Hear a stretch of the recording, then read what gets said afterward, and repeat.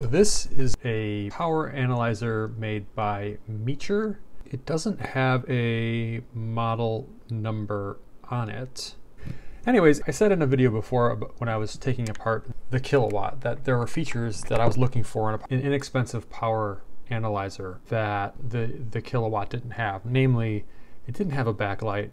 It didn't have a way for it to actually remember the accumulated measurements once power was cut from it, especially important when you're doing like battery life or battery capacity testing and efficiency testing on AC inverters, DC to AC inverters, things like that.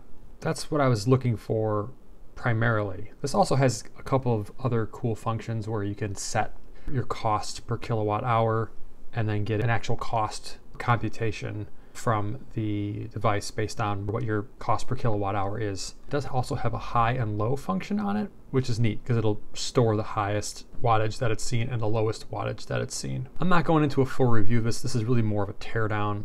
These things are really inexpensive. Right now it's $12.88 on Amazon with a 10% coupon. So, you know, really I'm looking just to see for what I've bought, is it frankly not going to burn my house down? There are not any third party testing certifications on here for safety, like the Kill A Watt has. It doesn't guarantee anything, but at least it shows that it's been through testing through some sort of independent laboratory to determine whether or not the design complies with whatever particular standard. 61010-1, which is the standard for lab test equipment. I thought my Pro Kit actually had all the bits that I needed for opening this up, but apparently it did not. So here, got a little kit that has the bits that I need with a little driver. So I'll need the two and a half millimeter bit. So it's just three of these tri-wing screws. I've just got a little gripper thing here so I can get a little bit more grip. There we go. Um, these are really in there. Which makes sense because there's only the three screws holding these together, or they were over torqued because I hear plastic making kind of a crunchy sound when I release those screws. These are definitely self-tapper screws. And let's get it opened up. So I'm just gonna pull on this. And it seems like it wants to separate, but toward the top, Oh, you know what? I bet you there's another screw back here. Is there one? I don't feel anything back to that. Would, there we go. Just opens up. Oh, this is way simpler than the Kill A Watt. Doesn't mean that it's bad, but what we have here, there's there's no printed circuit board for the actual prongs themselves. They're separate and then molded into a plastic assembly, which is kind of nice that everything is screwed down, like the line and neutral terminals are screwed into this whole block. It's actually better than the Kill A Watt, and the ground goes right through to where you plug in the ground lug. This really seems like it's better built as far as the plug is concerned because these terminals are actually in the plastic enclosure and unless the plastic really deforms even if it does you won't be able to get the plug in.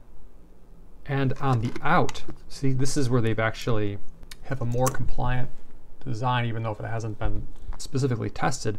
The leads going out aren't soldered at all. They have a crimped wire connection to an eyelet that is screwed down and then each lead, at each plug tip comes in and is screwed into that post. So even if this were to come loose, this post can't come out. It'll, it'll go loose, but it can't come out. So it's not relying on soldering at all, which is nice.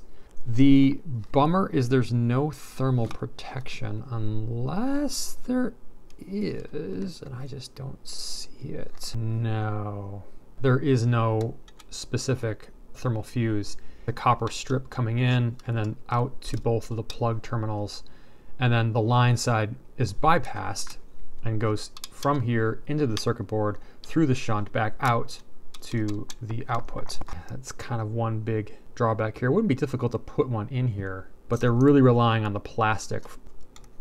This is probably glass fiber reinforced plastic, so it's really highly rated, fire rated plastic to keep all this from, even in a moderate overload situation, it won't actually melt to the point that it starts a fire.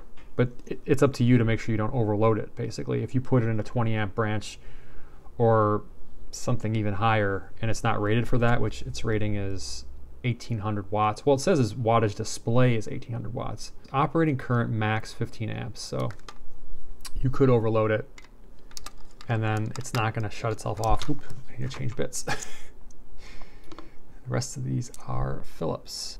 Nothing's going to cut out the supply if it is overloaded. So it's relying on the circuit breaker and your branch protection for both overload and short circuit protection. The thermal fuse doesn't provide short circuit protection either. Well, it, it does, but kind of in an indirect way. But it's up to you to make sure that you don't put it into a socket that is above the rating of this. So there's a lot going on here. We are bridged out. Okay, cool. It looks like all of the intelligence is really on here. Display control might just be on the front of this. All the control of, like what's going on is done here. Because I can see the, uh, the control lines. There are five leads going out instead of six like we saw on the Kill A Watt. And it has a VCC because it's got its drop cap supply that uses to create a little local logic level or supply. That's here. And that looks like it's got two grounds and then RX and TX. So I'm wondering if it's using a UART to communicate to this board to just display whatever needs to go on there. And I'm wondering if this is like some kind of power analyzer chip. That's my guess. Especially with the cost as being as low as this thing is, that you'd want everything to be as specific as possible and that you weren't designing anything for a special purpose. We've got a part number. Well, we do get something. We have a bad gateway, but I can see in the site description that the V9240 is this thing right here is a multifunction ultra low power single phase power measurement IC with UART serial interface. I'll see if I can try to get this link to work, but it doesn't seem to be working right now. But yes, we have a discrete, a single phase power measurement IC right on board. And then that is shuttling off what it measures off to a serial connection to this other board. I should also mention that all the power supply and regulation is done on this side of the board. It, it's just passing over the regulated supply and then your UART to this other board. This looks a little bit cheesy. There's just two pins sticking out. I'm assuming these go to a beeper or it's for the backlight. Be careful here because I'd rather not have to resolder those. And they are different screw sizes. Okay, interesting. I guess it's just whatever they had. They're making this. It definitely seems like they copied Kill A Watt just by virtue of how this is laid out. I mean, it's not that much of a surprise, but then just costed it down, or removed an expensive thermal fuse. There's no actual even an inline fuse for the supply that the Kill A Watt has. If the capacitive dropper supply fails for whatever reason, mm, it's going to short across the input, which given that it's lab test equipment under that IEC 61010-1, uh, there might be some leniency for that. Okay, removed the front cover, and now we have this giant display. It's much bigger, obviously, than what's on the Kill A Watt. The backlight is slid in here. Let's get the buttons off first, actually. The button silk screens actually match the buttons. Mode set, up, down, and reset. Real thick silicone, so you're you're well isolated from the voltage reduced, but still mains voltage. And this doesn't want to pull out. It stops right here for some reason. Oh, it's because it's soldered in. It's soldered in on this side, so I can't pull it out. It won't go past there, but it's just floating around in there. I'm going to remove the display now. It's going to pop off the zebra strips. Or they may stay in place, I don't know. Oh, it's all in a frame. This is nice because whoa, this is actually how the two zebra strips kind of stayed in place. So I can just take that and gently slide it back in here. We have a frame that lays in here. Nope. It did, and now it doesn't want to.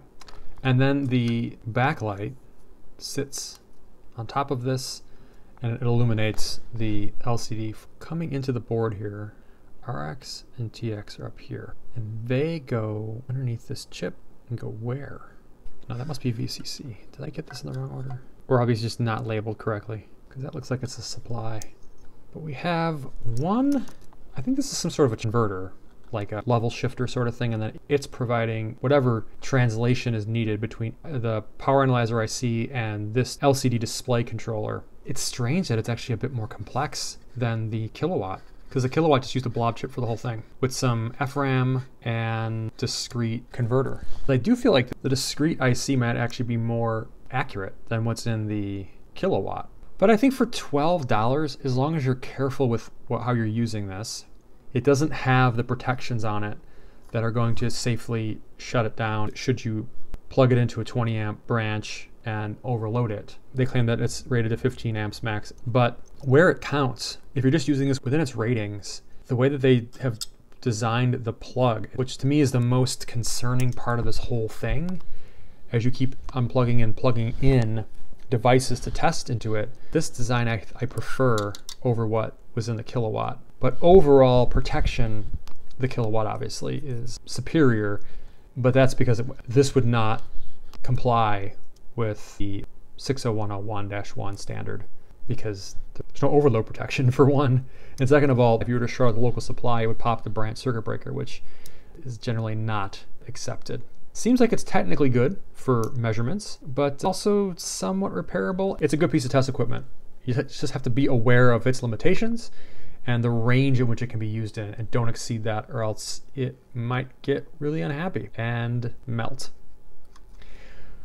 Well, that is the Meecher Power Analyzer. Thanks for watching, and I will see you in the next one. Take care.